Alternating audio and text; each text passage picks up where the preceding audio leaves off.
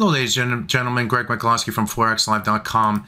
In the Kickstart video this morning, I talked about more, uh, specifically this 100 bar moving average on the four hour chart. I also talked about the 38.2% retracement of this move to the downside. That 38.2% retracement came in at 1.28089. The uh, 100 bar moving average on the four hour chart came in a few pips higher than that at, at the 11 level.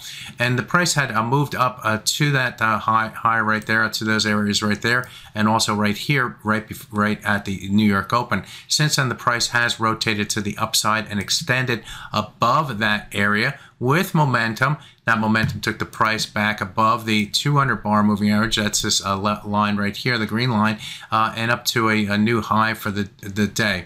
Now, uh, the uh, price is short of the next target area. That next target area comes against this swing area. Also, within this area, and probably more importantly, is the 50% retracement at 128. 537. That is the next target on the top side, but as you can see, we're still uh, about 22 or so pips away from that level.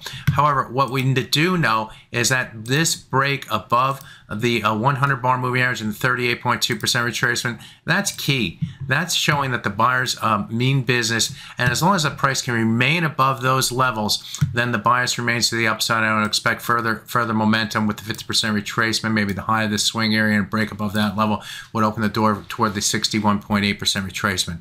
Conversely, if the price were to move below this level, then uh, then all bets are off uh, for the upside, uh, and uh, traders would be disappointed on the fail break to the upside. So this is your risk level here, folks. As long as the price remains above that level, going higher. My name is Greg Michalowski. Good fortune with your trading. Bye-bye now.